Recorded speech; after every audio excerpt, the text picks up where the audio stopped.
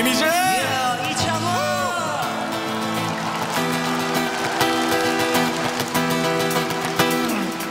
본능적으로 느껴졌어. 넌 나의 사람이 된다는 걸 처음 널 바라봤던 순간 찰나의 전율 잊지 못해. 우, 우,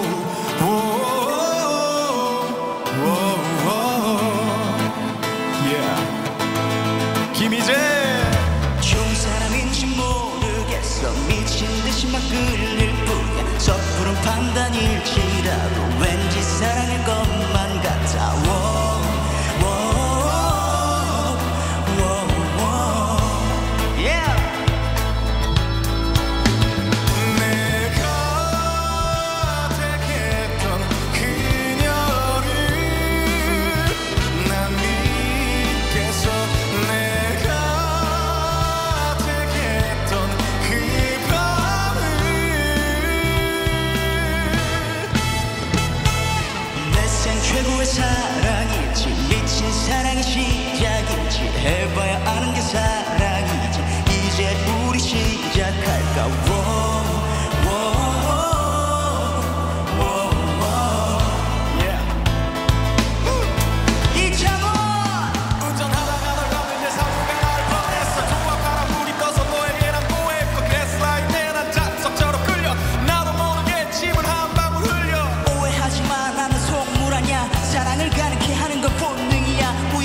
운명인지 나는 너의 앞에 왔어. 계산 같은 건 전부 다 은행에다